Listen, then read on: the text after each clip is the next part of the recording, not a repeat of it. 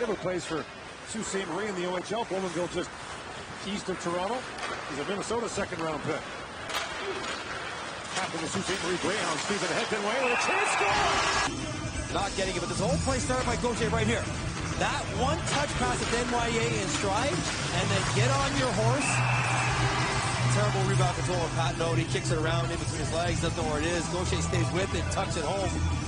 And a good job by the officials not blowing that puck dead as it was rattling between the pads of Pat Note. And we will get a goaltending change for the Swiss. That will spell the end of